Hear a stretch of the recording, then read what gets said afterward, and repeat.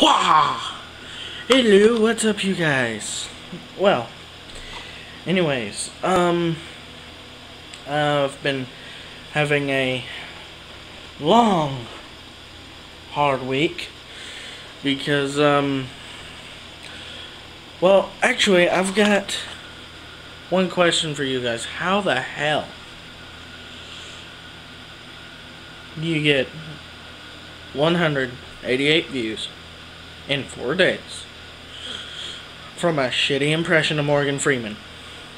For those of you who do not know what I'm talking about, I'll put the link somewhere in here, somewhere in the box. But apparently, uh, if you put a title like Morgan Freeman Titty Sprinkles and a picture of Morgan Freeman as a thumbnail, you get a lot of views. I don't know. But anyways, um, I actually have a brand new season of RCTV coming up, and if you haven't been paying attention to my Facebook, Tumblr, Twitter, I got a job. Yes, I sold out like a little bitch. But, um, hey, it's paying for my addiction, which is making videos that make people laugh till they shit themselves.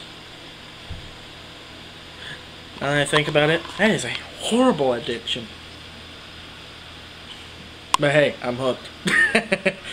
Anyways, I have a new season of RCTV coming up, so uh, catch you later. Here's a preview.